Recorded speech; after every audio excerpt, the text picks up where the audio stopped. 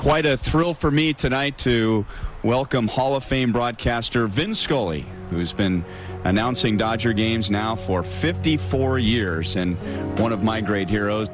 Well, first of all, I want to say to you and to Denny, but especially to you, that it is a thrill to be standing here talking to you because I can remember when as little Ryan Lefebvre with his dad Jim and his mom Jean. I mean, we go back a long ways, even if you don't remember. So I'm I'm honored to have the opportunity uh, to visit with you. And we are joined right now by little Ryan Lefebvre. How about that?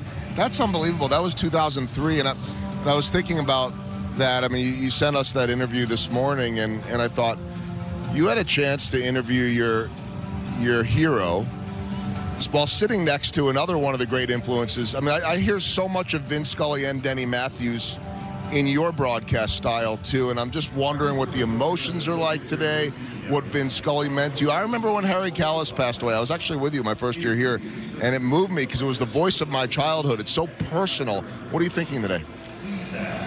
Well, I, I, think more than anything, I'm just grateful that I got to hear him and that I got to know him.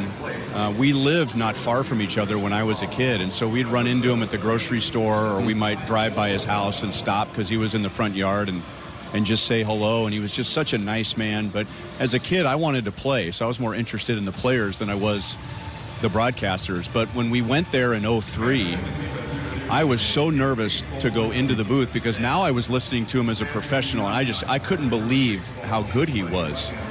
And you know, I growing up in Los Angeles and having my father as a major leaguer, um, you know, it was always exciting for me to meet somebody famous, but I was never overwhelmed. But I, I was that day, and I walked in there, and I was fully prepared to extend my hand and say, Hi, Vin, I'm Ryan Lefebvre. I'm Jim's son. I'm a broadcaster for the Royals, and I just want to say hello because I hadn't seen him in like 20 years. And he looked at me and he said, Well, Ryan, after all these years, look at you. And I, I mean, he just, he let me sit down next to him in the booth and we exchanged stories. I gave him stories about the Royals that I knew were right up his alley.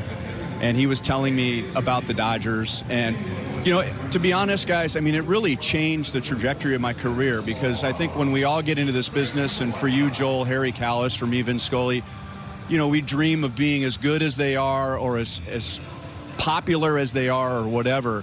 But I remember after that series thinking to myself, you know what, I'm never going to be as good as Vin Scully. I'll never be as revered as Vin Scully. But I can do that. I can be that person if someone comes into the booth or if I meet somebody in public, and I will, I will never ever forget how he made me feel. And Ryan, I'm curious, what is it that made him so good? I mean, he's a great storyteller. He had that voice. He made you feel like he was your uncle or your father or somebody. What was it that made him so good to you?